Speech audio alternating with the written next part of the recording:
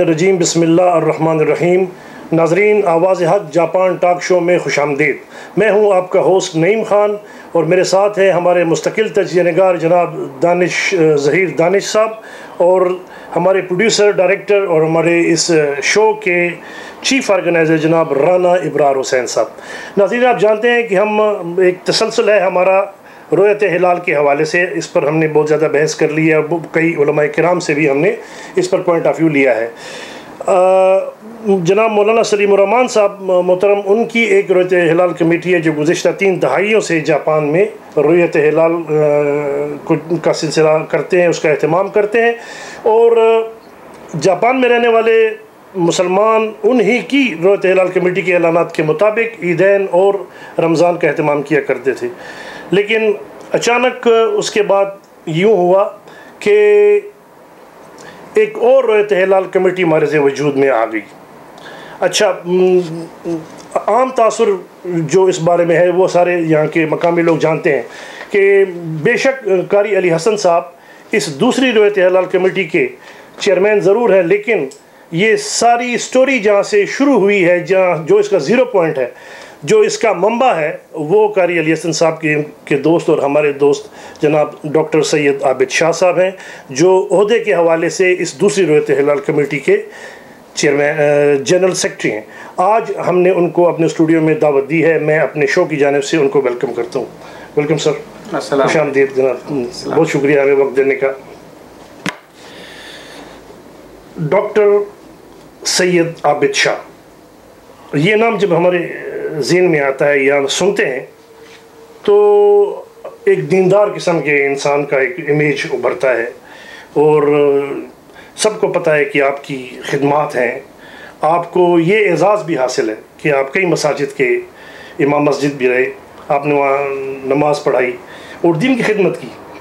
लेकिन फिर अचानक ऐसा कुछ होता है कि आप आपकी वजह से एक इंतशार फैल जाता है। हमारे इस जापान में रहने वाले पाकिस्तानी बरदरी में। बरदरी में मुसलमानों में कि आपने बैठे बिठाए बगैर सोचे समझे एक एक नई रोयत लाल कमेटी पैरल रोयत लाल कमेटी की बुनियाद रख दी।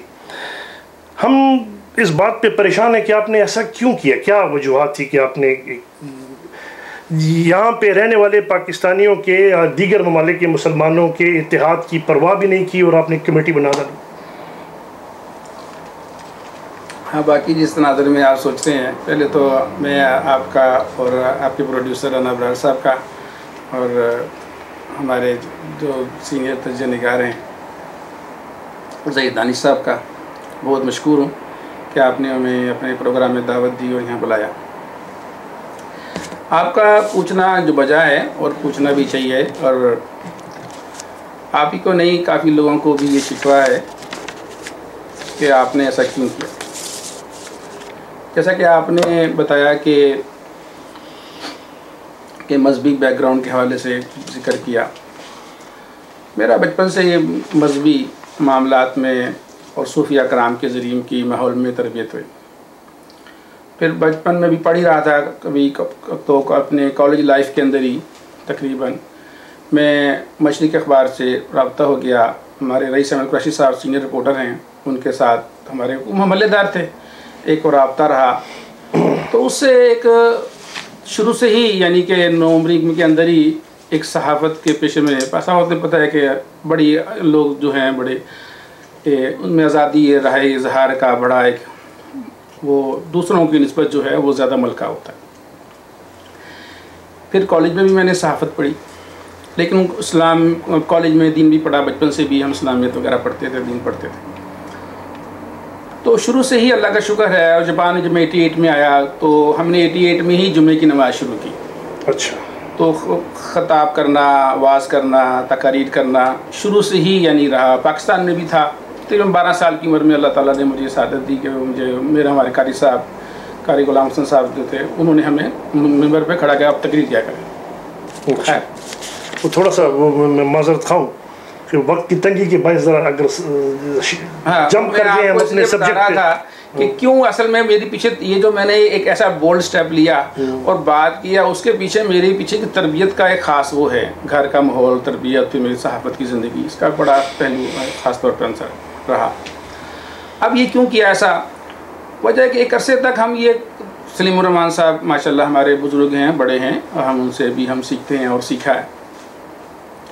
और हम ये कहेंगे कि हम आज जिस स्टेज पर हैं, ये उनकी मरहून मिन्नत है, क्योंकि वो जिन हालात में उन्होंने हमारी, यानी कि रहनुमाई की और उम्मत को संभाले रखा तो उसका क्रेडिट जो है, वो हमेशा उनको अल्लाह देगा और हम ज़ाहिर उम्मत भी उनको देती रहेगी। हुआ ये कि जब हमारा लिखने लिखाने का ताल्लुक है और हुआ ये कि जब मीडिया आम हुआ, इससे पहले सलीम रहमान साहब से गाहे बगाहे मुलाकात होती थी। हमें ये मालूम था कि ये नदवा से पढ़े हैं या सऊदी अरब से पढ़े हैं। तो उसका एक उनकी शख्सियत थी। उस हवाले से एक जो तासुर था आवाम के अंदर हम भी उससे ज़ाहिर उनसे मुतासर थे। लेकिन जब उनकी तहारीर आई हमने मीडिया पे देखी अखबार में उनको लिखना शुरू किया और फिर दुनिया इंटरनेशनल के हवाले से मैं भी मैंने हमारे जो हमारे एडिटर हैं ताहिर हुसैन साहब उन्होंने भी कुछ रिक्वेस्ट करके कुछ तहरीर उनसे लिखवाई। तो ताहिर हुसैन साहब कौन है? दुनिया इंटरनेशनल के एडिटर। रुयत हिलाल कमेटी से उनका कोई ताल्लुक कोई उदा नहीं रोहित मैं तो, तो, तो, तो बता रहा है कि ये ख्याल कैसे पे हुआ और अच्छा। कैसे ये हुआ सारी सिस्टम है तो कुछ हमने तहरीर वगैरह उनकी पढ़ी देखी।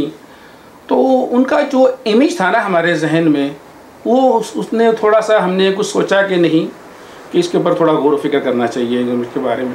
तो इसी तरह फिर ये जब ऐसा हुआ तो सबसे पहली जो बात हुई वो करीबी इस्लामी मुल्क के ऊपर हुई। ये बातें भी हम सुन रहे थे, काफ़ी अरसे से किबला कारी साहब से भी ये बात काफ़ी दफ़ा हुई और दीगर हजरात से भी बात हुई, क्योंकि जब से तिल कुरान बना है ना, तकरीबन इसके ऊपर गुफ्तु होती रहती है, चाँद के ऊपर, कि चाँद दिखाई देता है मुख्तु लोगों ने हमें बताया कि चाँद यहाँ दिखाई देता है। लेकिन ये तयन नहीं हो रहा था कि चाँद पहली का है, दूसरी का है। जैसे आमतौर पर आम भी ये होता है कि हम कहते हैं कि चाँद नज़र आया तो आवाज़ें उठती हैं, और पिछली दफ़ा आपके प्रोग्राम में हुसैन खान साहब ने भी कहा कि हमने उससे सलीम रमान साहब भी तहकीकत करते हैं। ये ऐसी बातें हैं, लेकिन हम जो कुरान हदीस को हम देखते हैं तो बात कुछ और निकलती है। तो सबसे पहली जो बात आई थी, वो आई थी कि करीबी इस्लामी मुल्क कौन सा बनता है। तो मैं उसको नक्शे पे देखा, देख रहा था और बाई वे बाई चांस ही देख रहा था। तो देखा कि मलेशिया जो है, वो इंतहाई जापान के जनूब में नीचे है। और जबकि पाकिस्तान और बांग्लादेश जो हैं, वो से एक अर्ज़ बलद के लैटीट्यूड के ऊपर है। ये आपकी रिसर्च ये जो दिल है जहाँ से बात शुरू हुई है जहाँ से बात जिसने चीज़ ने मुझे मजबूर किया। और उस जब वो बात सामने आई तो मैंने कहा ये नहीं हो सकता। तो फिर मैं उन मेरे कुछ मिस्री दोस्त हैं। आमतौर पर तो यही हाँ। बात जहन में आती है ना कि यहाँ की जो फ्ला- जी, जी, जी। फ़्लाइट का टाइम है वो कम है पाकिस्तान इतनी। लॉन्ग फ़्लाइट होती है तो ये कैसे करीब हो गया? तो ये करा तो असल में। तो असल में ये बात थी तो फिर मैंने इस सिलसिले में मेरे कुछ अरबी दोस्त हैं मिस्र में तो मैंने उनसे रबता किया। मैंने कहा आप जाम अजहर की से मुझे ना ये पता करके दीजिए कि ये जो सूरत हाल सामने आ रही है हम तो मलेशिया को फॉलो कर रहे हैं. जबकि नज़र ये आ रहा है कि मलेशिया को फॉलो नहीं हमें करना चाहिए। अगर हम बिलफर्ज अगर चाँद नज़र नहीं भी आता और हम उसका सही तरह से ताकुब नहीं हो रहा हमें तो हम जो है पाकिस्तान को या बांग्लादेश में से किसी को हम जो है फॉलो कर, कर सकते हैं।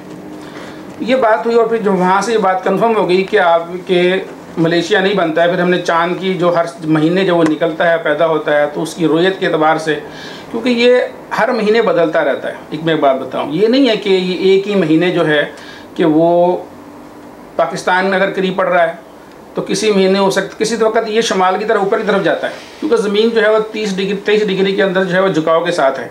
जब वो घूमती है तो चाँद भी जब निकलता है तो वो ऊपर नीचे चलता है। कभी ये शुमाल की तरफ़ हो जाता है यानी कभी ख़त इस्तफ़ा एक्यूटर के ऊपर चलता है और कभी नीचे जनूब की तरफ़ इसका झुकाव ज़्यादा होता है।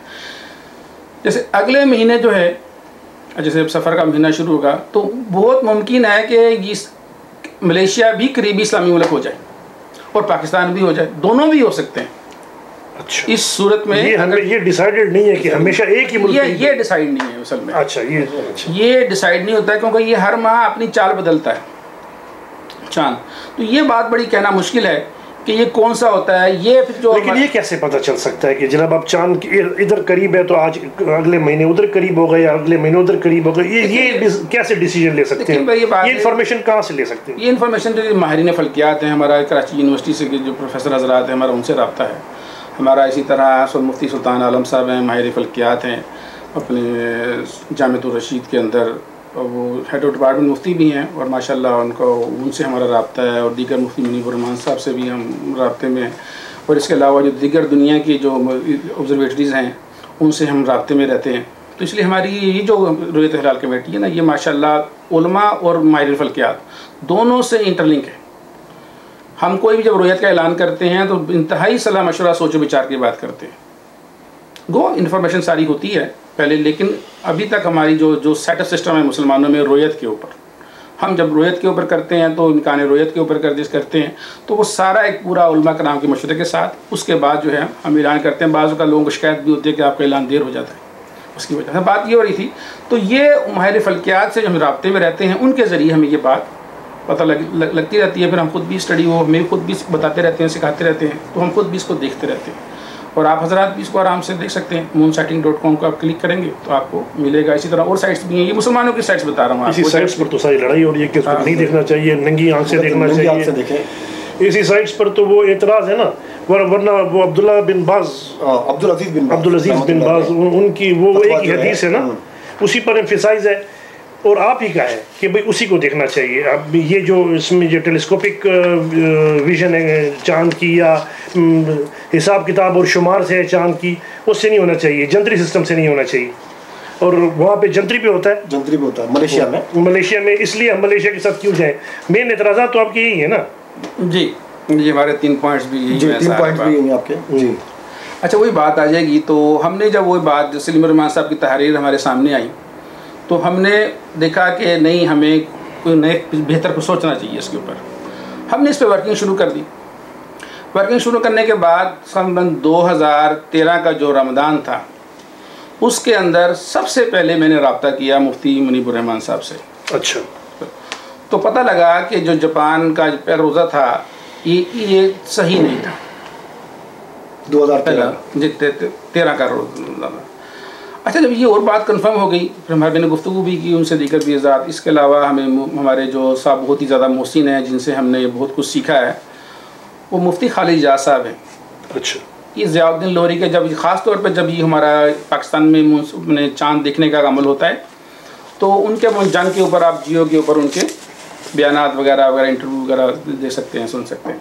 तो बड़े यानी कि बाहर पाकिस्तान में मैं कहूँगा कि ज़ियाउद्दीन लाहौरी साहब उनके वालिद उन लोगों में से हैं जिन्होंने सबसे पहले इम्कान रोयत के ऊपर गुफ्तु शुरू की और ऑस्ट्रेलिया से इंग्लैंड से अमेरिका से और तमाम से रबते किए। और इस इलम को जो है पाकिस्तान में और इंडिया में तक की मैं बात करूँगा ज़्यादा इसको मुतारफ़ कराया ख़ास तौर पर। तो मेरे पास कोई आज कुछ बुक्स हैं फतावा रहीमिया है मेरे पास में इंडिया के एक आलिम है उनका। उनमें भी उनका हवाला है। तो बात हो रही थी आपकी रोय रोए से साल के भी आपने? जी मैंने आपसे ये कहा कि आपके जो एतराज़ात हैं। जी जी। मैंने जनाब मोहतरम नाजरीन ये इनसे अभी पूछा कि आपके तो मेन एतराज़ात ही यही हैं कि मलेशिया में क्योंकि चाँद को देखने का अहतमाम नहीं किया जाता इसलिए हम उनके साथ उन पर एतबार नहीं कर सकते। चाँद को नंगी आँख से देखना चाहिए। नंबर टू इन्होंने ये कहा कि अब जापान में चाँद नज़र आता है। तो क्यों ना इसका इधर अहतमाम किया जाए? ये सवाल हैं जो हमने इनसे किए थे, नाजरीन। इसका जवाब हम अपने वक्फे पर जाने के बाद इनसे लेंगे इन नाजरीन, कहीं जाइएगा मत, आज हमारे साथ डॉक्टर सैद आबिद शाह साहब मौजूद है और उनसे एक तफसली गुफ्तु इन होनी है। मिलते हैं एक शॉर्ट से ब्रेक के बाद।